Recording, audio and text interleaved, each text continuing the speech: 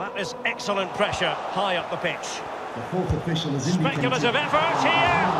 Well, first-rate goalkeeping. Oh, he can't believe the goalkeeper saved that. That's brilliant.